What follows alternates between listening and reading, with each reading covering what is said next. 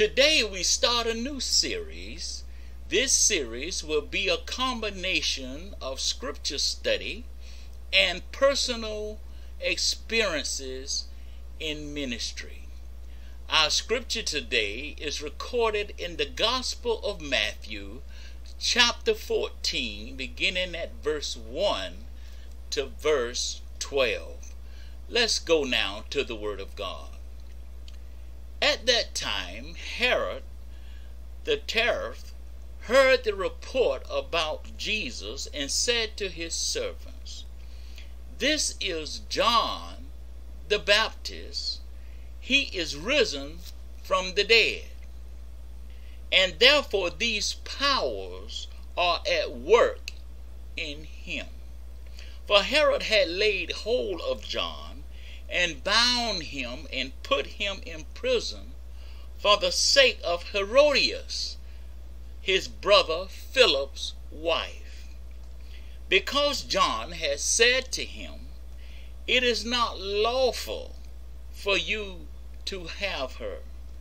And although he wanted to put him to death, he feared the multitude because they counted him as a prophet.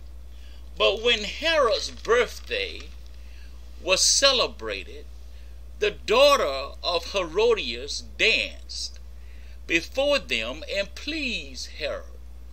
Therefore he promised with an oath to give her whatever she might ask. So she, having been prompted by her mother, said, Give me John the Baptist's head here on a platter. And the king was sorry. Nevertheless, because of the oaths and because of those who sat with him, he commanded it to be given to her. So he sent and had John beheaded in prison. And his head was brought on a platter and given to the girl, and she brought it to her mother. Then his disciples came and took away the body and buried it and went and told Jesus. May God add a blessing to the hearers of his read word.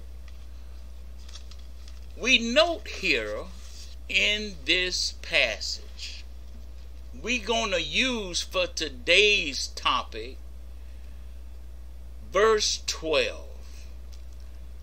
Then his disciples came and took away the body and buried it and went and told Jesus.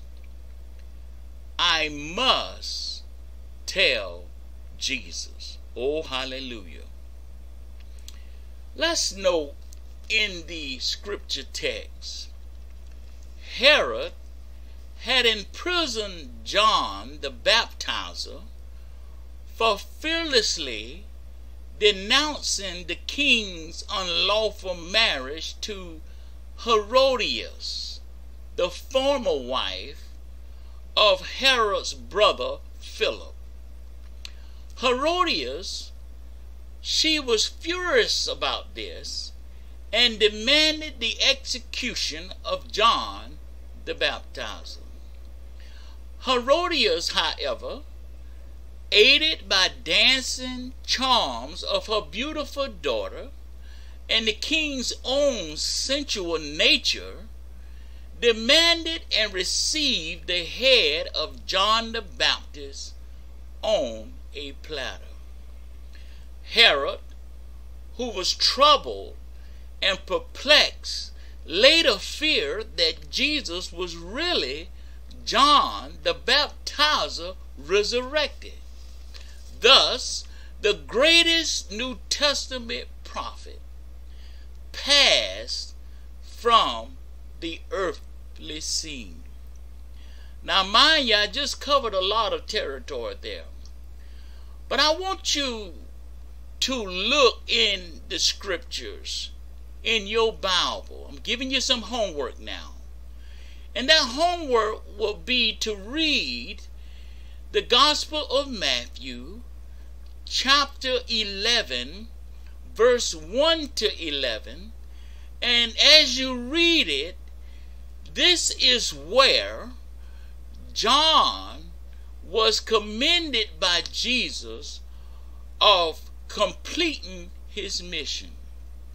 And also, Jesus, in this tribute, if you will, was saying concerning John the Baptizer that he was a great man of God, the forerunner, the one that was assigned to be the one that prepared the way for Jesus Christ, the Messiah.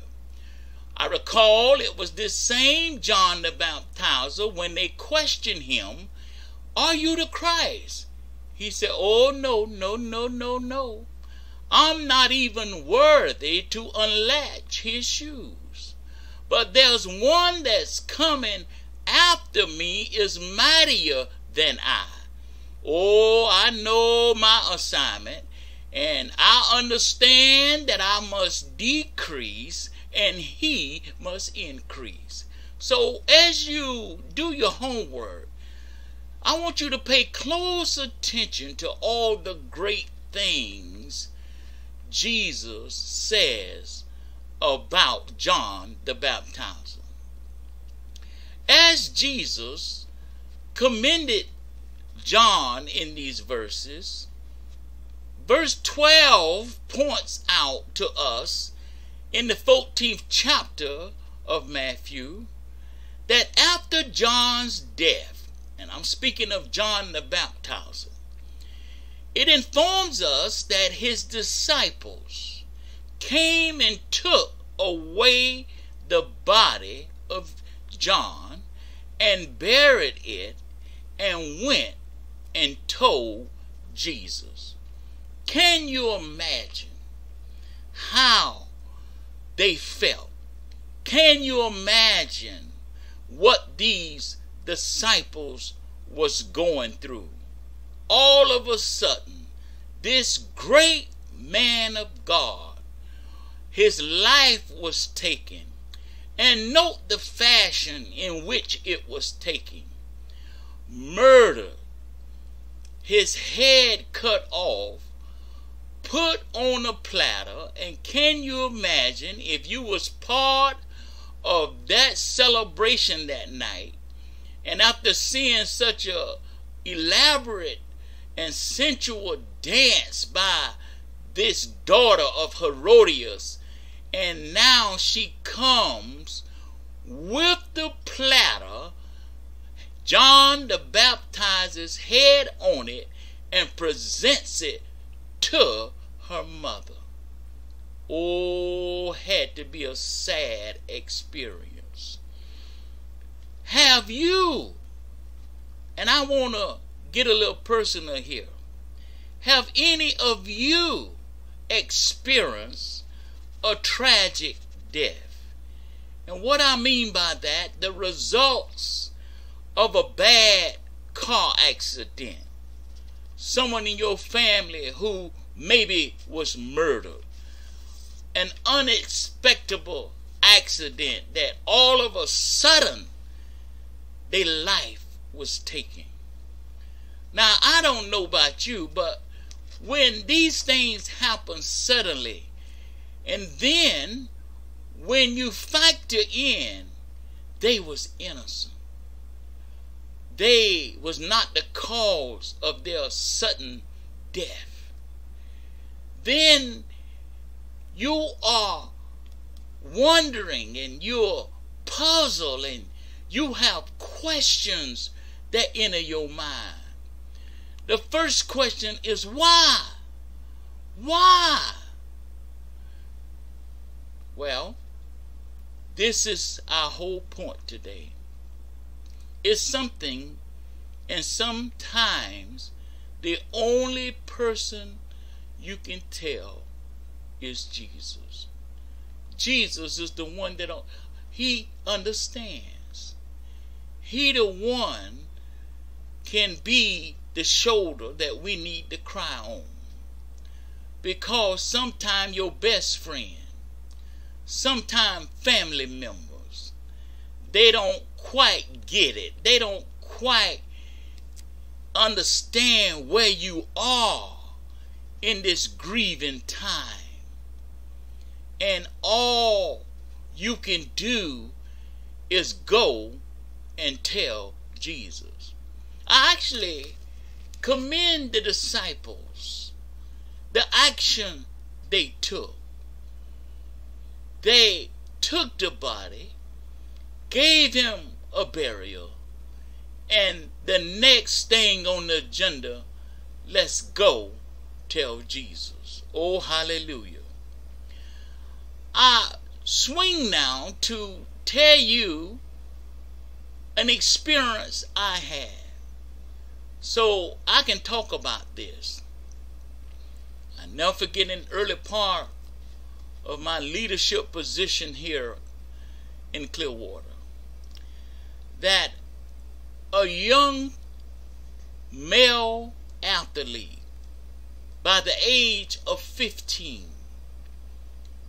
he was out one afternoon and innocent as he could be and two men drove by and shot him. And the shots the bullets lodged and took his life. It was a mistaken identity. They thought the young man was somebody else they was looking for. And I don't know what was the motive, but here this young 15 year old football player, athlete, his life was taken all of a sudden. I never forget when I received the call from the mother. And I had to go to the home. So much weeping and wailing and crying. And yes, that question came up time after time. Why? How could this have happened? And we really had to pray for the mother because at that point in time, I thought we was going to lose her she was just torn apart. And that's when this scripture text came to my mind. And all I could give her as we prayed and comfort her is to tell her, you just got to tell Jesus. I must tell Jesus. That's right it's important that we understand what Peter told us in his letter. You recall 1 Peter 5 and 7. Casting all your care on him, speaking of Jesus, because he cares for you. He understands. He can help us in situations like this when nobody understands, when we have the questions why. And as I speak this morning, it's every family can bring back a time when they was there, when they was experiencing what this young mother was experiencing. And also a time when they experienced what these disciples in Matthew 14 experienced. Because John the baptizer was such a great man. What do we do in situations like this? Well, as I shared with the family and preach and eulogize that young man. And oh, as I looked in the church, standing room only, all his classmates. And, and I thought we had got through the difficult part at the church. But then at the cemetery, as I stood at the foot of the casket and then made my way to the front, praise God, at the head of a casket to commit the body to the ground. And it was so touching, I never forget it. All his classmates all had a rose. I have never experienced so many roses that all behold when we did the committal and they lowered that casket into the ground. And all those hundreds and hundreds of roses just tossed there on the casket. It was something to experience. And it took that mother and that family some time to get over it because they had to do the investigation they had to finally track these two men down. Then the trial, and you know, and on and on and on. But I want to encourage you today. If you have experienced anything like that, or if you were supportive to someone or some family who have experienced such a tragic death. It ain't no better way. There's no other way. You just must tell Jesus. So I feel that the disciples gave us the best answer and the best example of what to do. I just got to go and tell Jesus. Jesus understands. Jesus cares. The scripture says in Psalms 121 these times we got to look to the hills from whence cometh our help. Our help cometh from the Lord who made the heavens and the earth. And then I'm reminded as we close that old familiar song that the songwriter wrote. I must tell Jesus. The old hymn writer would say, I must tell Jesus all of my trials. I cannot bear these burdens alone. In my distress, He kindly will help me. He ever loves and cares for His own. Then the chorus will go like this I must tell Jesus. I must tell Jesus. I cannot bear these burdens alone. I must tell Jesus. I must tell Jesus. Jesus can help me. Jesus alone. Oh, I must tell Jesus all of my troubles.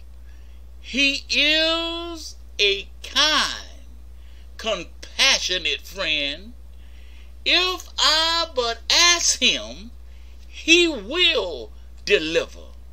Make of my troubles quickly an end. Oh, yes, I must. Come on, help me it. I must tell Jesus. I must tell Jesus. I must tell Jesus. Jesus can help me. Jesus alone. Be encouraged. You're not by yourself. Cast your care on him. He will get you through. And we're praying for you that if any have experienced such a tragic death by a family member, co-worker, or friend, God will get you through. He's a very present help in trouble. And he promised to never leave you, never forsake you. And he said, Lo, I'm with you always, even to the end of the world. I must tell Jesus. Will you still await and tell him? Just speak from your heart. He's listening. Go tell him. Will you do that today? May God continue to bless you. And until we meet again, may his peace abide within you.